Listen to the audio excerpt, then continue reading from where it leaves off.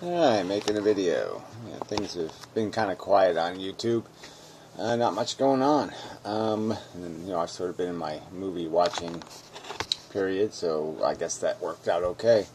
There's nothing to nothing to respond to. Um, so I've been um, just exploring um, the artistic mediums, and uh, yeah, it's just I don't know. Yeah, it's losing its. Uh, yeah, I'm, I'm going to be migrating out of that mode pretty soon, I think, because the movies all kind of suck. So anyway, I did see Melancholia. Yeah, just, uh, yeah, not much to say. I mean, it was just so much smaller a movie than I thought it would be. Um, the only part done well is the planet. Um, you know, I mean, it was sort of an interesting idea, and it was done um, artfully. Um, you know, in terms of the music and the the uh, images. But um, yeah, I guess they could have even added something to that. You know, shown some of the swirls of the atmosphere on the planet or something about the planet would have been made it more interesting, perhaps. Uh, one assumes it would be probes that would have taken a look at the planet. Um, you know, but uh, anyway. Um, yeah, and it was just you know it's just this tiny little slice of human reaction, and uh, it all seemed kind of silly, and the characters were so inconsistent, and yeah, I just I couldn't just you know halfway into it, I was just like I you know I didn't even know if I wanted to finish the movie. It was so tedious.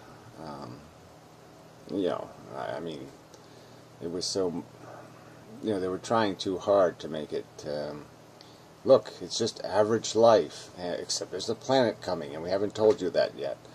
And, um, but, um, yeah, it just, who, who, who wants to do that? I mean, it's like just watching, somebody watching some, I mean, I wouldn't want a movie where you just watch somebody wash dishes for 45 minutes. And going to somebody's wedding is, haven't we seen weddings like 9 million times in movies? And you're going to waste a 40 minutes on it or a half more than a half an hour. I mean, forget it. It's just no point. Little family drama bullshit. Who cares? Um, yeah, not very um, interesting or challenging or. Um, and certainly it, it isn't necessary to get the idea of regular life or tedium. You know, that's what's always missing from movies is the mundane stuff, you know, the everyday stuff, the the stuff you have to just endure every day. You know, just the routine of keeping your life together. Um, you know, especially for people who have to work eight hours a day or more. you know, just that whole bite out of your life. Um, you know, especially if you're doing work that doesn't interest you. Um, you know, that's just like going to prison. Um, you know, and getting a feel for that in a movie it seems to be a sensible thing. But that's always that's not what movies are about. You know, it's always about the peak moments. Um, but certainly you can get the idea of monotony in five minutes. You don't need to spend 40 minutes on, you know, real life drama kind of bullshit. Get the idea of some kind of backstory. And it was all backstory. And then the the end story was just um, silly. I, I, mean, silly in the sense that it didn't. I couldn't relate to any of it in terms of reactions. Like I said, the characters are way too inconsistent. You know, one minute stoic and ready for it, next minute, you know, you can't even lift your leg to take a bath. I mean, silly things like that. Just this silly. Um, so anyway, so yeah, not a very good movie, and it's filmed in you know jitter vision or whatever. And so that just made it really irritating. You know, like deliberately amateur camera work. For what purpose? I don't know. Uh, yes, nothing good to say. Um, but the idea of, you know, facing mortality is an interesting concept. You know, if it's really put in your face you know, as a certainty. And, um, you know, there's not too many people get it that way. They get it in some sort of, oh, there's a chance, and oh, if you get this therapy or this treatment, you could live, and blah, blah, blah. You know, so they get caught up in fighting for their life and, you know, it's not about living, it's just about surviving. And somehow that's enough of a an accomplishment. And you know, the, the real story is, is is do we have enough? Is there really enough uh, to justify the effort extended? Um, yeah, I don't see it. but anyway, um, yeah, so I guess it's not very useful to me philosophically. And uh, it's not very useful in terms of even internalizing it to your own existence and trying to figure out what you know to do with your own life. Um, this seemed like there should be a story that's a little bigger. Than...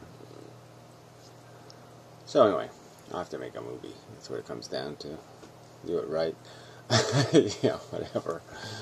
Um, yeah, so I don't know if I have anything. You know, it's, it's just been one of those. You know, I watched a couple other movies. Um, I have a little list of morbid atheist left, but uh, yeah, it's kind of not a very reliable list.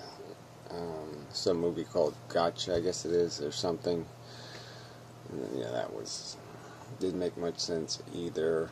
Um, sort of little interesting plot twists, but you know, I guess I'm I'm sick of plot twists. Um, know, they're just they're all over the place, right? That's what they do in movies now is try to surprise you, and um, you know that's one of the bits of the formula. And I suppose I would resort to the same thing if you're trying to write a story, but uh, you know you'd want to keep people guessing. But um, I don't know.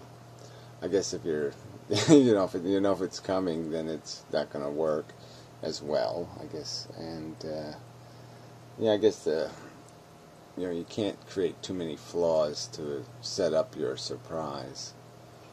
Um, you know, and that's I guess everything looks awful contrived. Everything looks contrived just to make the surprise, just to pull off the surprise, and so there's no story it, you know, because they have to spend all their time trying to make it, um, trying to fool you.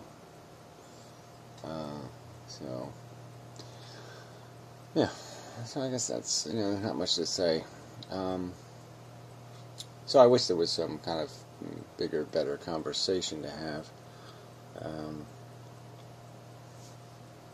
you know, the subject of living is sort of interesting right now for me.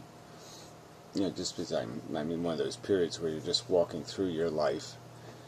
Um, you know, and I'm thinking about periods where I was living it more aggressively and more, more caught up in um, you know, something simple even.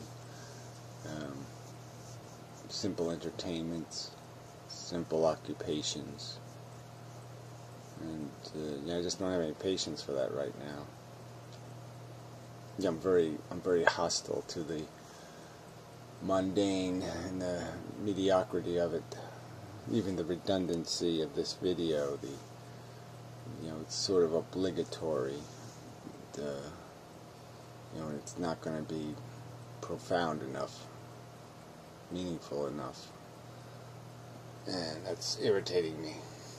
you know, everything just seems to be moving so slow, and it seems so um, difficult. Um, you know, to find the plot in this story. What's the plot of my life?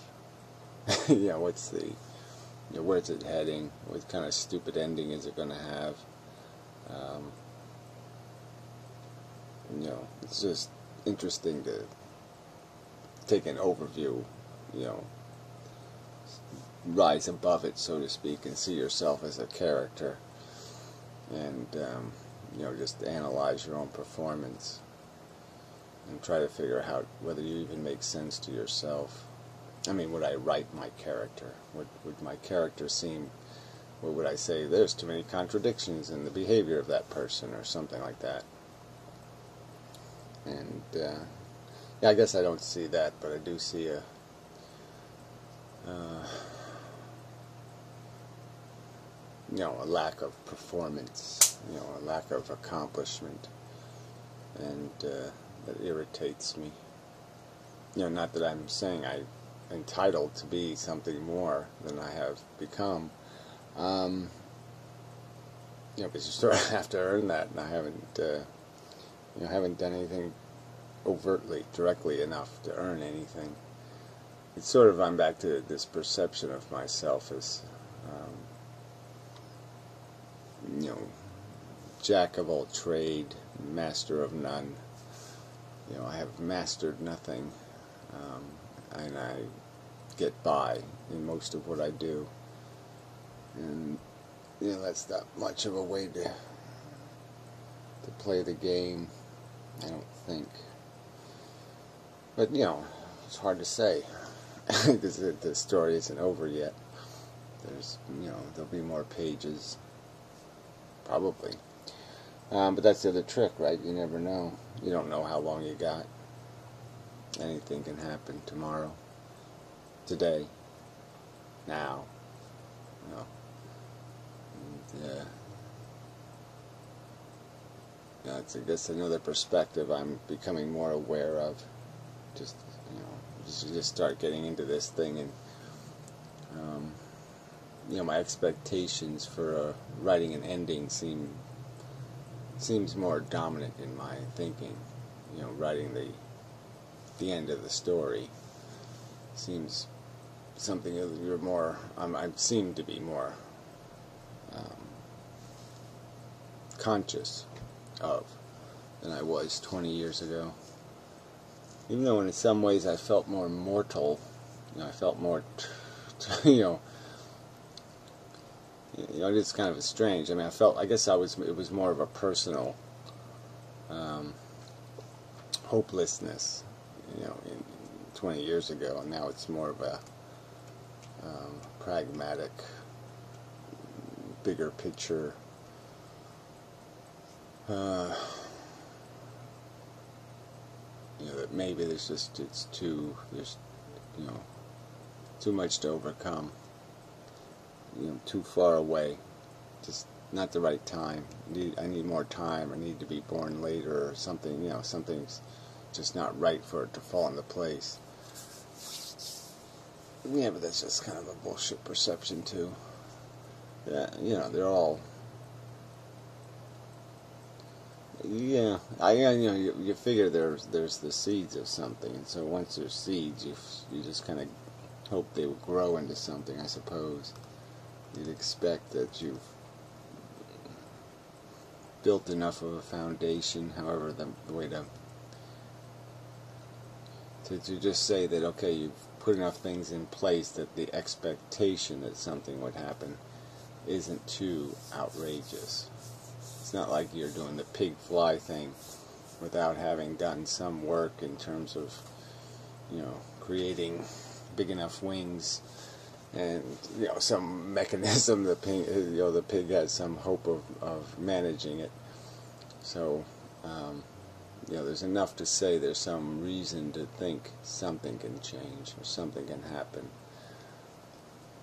there's just not reason to be very, you know, to be highly. To, to, there's no reason to expect it, or, or um, that's the right word. Expect isn't enough of a word. To have it as a demand, expectation, a command almost.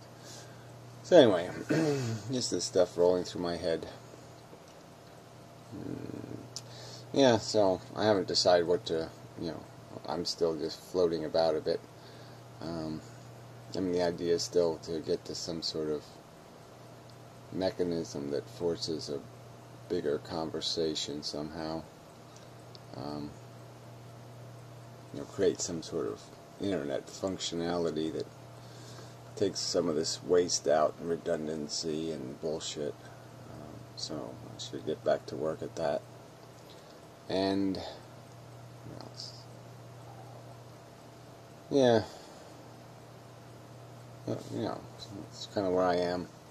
Um, it's all about the, the marketing, the uh, the the you know how to um, force um, some sort of conflict, some sort of um,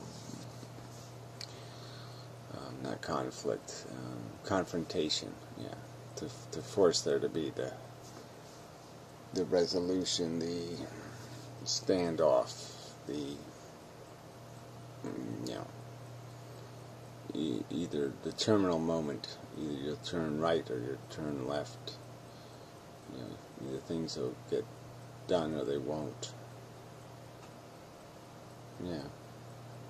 It's like some sort of chain reaction. You either get it going and it goes, or it fails entirely and you have to start all over almost.